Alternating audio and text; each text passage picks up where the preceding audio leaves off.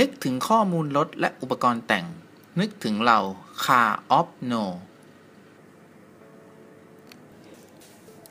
สวัสดีครับ พบกับ Car of No กันอีกครั้ง วันนี้เราจะมาเสนอเรื่องอะไรนั้น เชิญรับชมกันได้เลยครับ Toyota Corolla โฉม 3 ห่วง โฉมนี้ถือเป็นเจเนเรชันที่ 7 เปิดตัวครั้งแรกในพศ 2534 โดยในเมืองไทยมีเครื่องยนต์ให้เลือก 3 รุ่น ได้แก่ 1.3 1.5 1.6 ให้กำลัง 99 104 และ 113 แรงม้าตามลำดับ ทั้ง 3 เป็นเครื่องยนต์เบนซิน ขับสบายๆ ด้วยระบบเกียร์อัตโนมัติ 4 สปีด และระบบเกียร์ธรรมดา 5 สปีด ทันทีที่เปิดตัวในไทย โคโรล่าโฉมนี้ก็ได้สร้างปรากฏการณ์ยอดการจองทะลุทะลวงอย่างรวดเร็ว Toyota Corolla โฉม 3 ห่วง ได้รับการเรียกขานตามตาสัญลักษณ์วงรีไขว้3วง ซึ่งถูกนำมาใช้เป็นตาสัญลักษณ์ของ Toyota Toyota Corolla โฉม3ห่วง ได้รับการเรียกขานตามตาสัญลักษณ์วงรีไขว้3วง ซึ่งถูกนำมาใช้เป็นตาสัญลักษณ์ของ Toyota โฉม3ห่วง เป็นจุดเปลี่ยนสำคัญของตระกูล Corolla เพราะก่อนนี้ Corolla จะมีลักษณะเป็นรูปทรงเหลี่ยมๆ แต่โฉมนี้จะเริ่มเปลี่ยนจากความเหลี่ยมเป็นความโค้งมน และรถตั้งแต่โฉม3ห่วงเป็นต้นมา ก็มีความโค้งมนมากขึ้นเรื่อยๆ และ Corolla โฉมนี้เครื่องยนต์แบบคาร์บูเรเตอร์ในรถเก๋งค่อย ๆ หายไป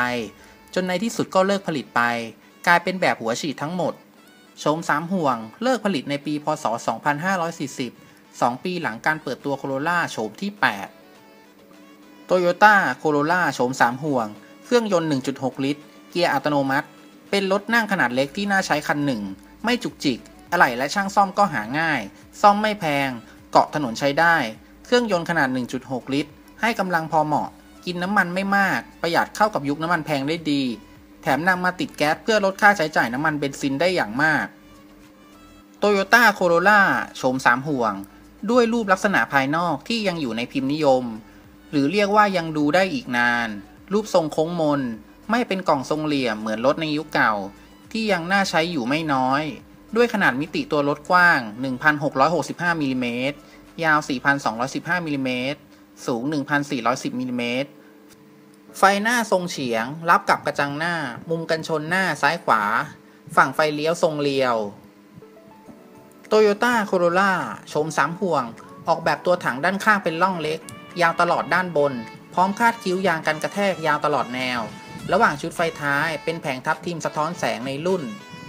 ฝากระโปรงหลังเปิดได้จะหลดแนวการชน เพิ่มความสะดวกสบายในการขนย้ายสัมภาระการชนหลังแบบเรียบตรงกลาง เว้นช่องใส่ป้ายทะเบียน ภายด้านในห้องโดยสารมีความกว้างพอสมควร ออกแบบเนื้อที่ห้องโดยสารภายในมาสำหรับ 4 ที่นั่งสบายๆ 5 คนอาจจะมีอึดอัดไปบ้าง และการตกแต่งห้องโดยสารจัดอยู่ในระดับที่ดีค่อนข้างทันสมัย ทัศนวิถัยในการขับขี่ใช้ได้ มีมุมอับน้อย เบาะนั่งออกแบบได้ดีขึ้น นั่งนานๆ ไม่ค่อยมุ่ยมากเหมือนโฉมก่อนๆที่ผ่านมาเนื้อที่สำหรับวางขาและเท้า ทั้งด้านหน้าและหลังก็มีมาให้มากขึ้น สมกับตัวรถขนาดนี้ ระบบช่วงล่างของ Toyota Corolla โฉม 3 ห่วง ใช้แบบอิสระทั้ง 4 ล้อ เกาะถนนได้ดีกว่า Corolla อีกหลายๆ รุ่น การโดยสารนั่งได้นุ่มนวลพวงมาลัยแบบ Rack and Pinion พร้อม Power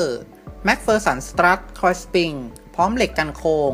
ระบบเบรกหน้าดิสพร้อมกับคีบระบายความร้อน หลังดรัมพร้อมระบบตั้งระยะห่างผ้าเบรกอัตโนมัติ แม้ไม่มี ABS มาให้ แต่ก็ใช้งานได้ดีพอสมควร มากับยางขนาด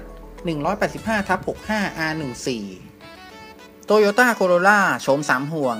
ให้อัตราความสิ้นเปลืองเชื้อเพลิง ตามสภาพเครื่องยนต์ที่ผ่านการใช้งานมานาน และทำเครื่องมา สภาพการใช้งาน 70-80% ใช้งานในเมืองให้อัตราบริโภคน้ำมันได้ราว 8.7 ถึง 9.5 กิโลเมตรต่อลิตร วิ่งทางไกลที่ความเร็วช่วง 80 ถึง 110 กิโลเมตรต่อชั่วโมง วัดความสิ้นเปลืองได้ในระดับ 13.8 ถึง 15 กิโลเมตรต่อลิตร แต่อย่างที่บอกไปแล้วว่าต้องอยู่กับสภาพเครื่องยนต์ด้วย Toyota Corolla โฉม3ห่วง ในรุ่นเครื่องยนต์ 1.6 ลิตร มีสมรรถนะพละกำลังเพียงพอในการใช้งาน อัตราเร่งตีนต้นไม่อืด ตีนปลายไหลลื่น ได้ราว 160 กิโลเมตรต่อชั่วโมงเศษๆส่วนเครื่องยนต์ที่ใช้เป็นแบบ 4A FE เบนซิน บล็อก 4 สูบเรียง DOHC 16 วาล์ว ความจุ 1.6 ลิตร นับเป็นเครื่องยนต์บล็อกฮิตในเมืองไทย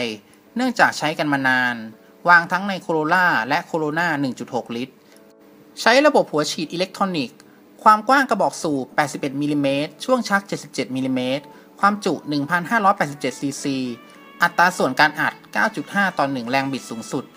15.0 กิโลเมตร ที่ 5,200 รอบต่อนาที ซึ่งเครื่องบล็อก 4A-FE นี้อะไหล่หาได้ง่าย ราคาไม่แพง ตัวเครื่องยนต์ให้พละกำลังพอสมควรกับ 110 แรงม้าที่ 6,000 รอบต่อนาที ส่วนระบบส่งกำลังเกียร์ธรรมดา และในรุ่นเกียร์อัตโนมัติ 4 สปีดทำงานได้ดี เพราะเป็นเกียร์อัตโนมัติยุคใหม่ มีความฉลาดขึ้น เปลี่ยนเกียร์ได้อย่างนุ่มนวลขึ้น ไม่ด้อยไปกว่าเกียร์อัตโนมัติของรถยุโรป ราคาค่าซ่อมไม่แพงนัก หากนำไปเทียบกับรุ่นอื่น ๆ หรือจะยกของใช้แล้วจากเชียงกงมาใส่แทนก็ได้ เวลาเกียร์เสียก็ราคาไม่แพงจนเกินไป เพียงหลักพันกลางๆสำหรับจุดเด่นของ Toyota Corolla โฉม3ห่วง อยู่ที่ความทนทานไม่จุกจิกอะไหล่แท้เทียบเก่าใหม่ได้ในราคาไม่แพง อีกทั้งยังประหยัดน้ำมันเชื้อเพลิง ส่วนสมรรถนะโดยรวมค่อนข้างไปในทางที่ดี ในการซ่อมแซมหาที่ซ่อมได้ไม่ยาก เนื่องจากไม่มีระบบอะไรที่ซับซ้อน อะไหล่เทียบเทียมคุณภาพดีก็มีมากมาย อะไหล่แท้มือสองจากเชียงกงหาได้ง่าย สนนราคามือสองยังพอหาจับกันได้ แต่ราคาก็จะแรงกว่ายี่ห้ออื่นในรุ่นปีเดียวกัน จากการเป็นรถตลาดที่ผู้คนนิยมใช้ สุดท้ายท้ายสุดสำหรับการเลือกหา Toyota Corolla โฉม3 ห่วง สภาพดีไว้ใช้สักคัน คงต้องบอกว่าใจเย็นๆ ค่อยๆ เลือก ค่อย ๆ ดู อย่ารีบ รับรองคุณจะได้ Toyota Corolla โฉม3ห่วงไว้ครอบครองสมใจแน่นอนครับ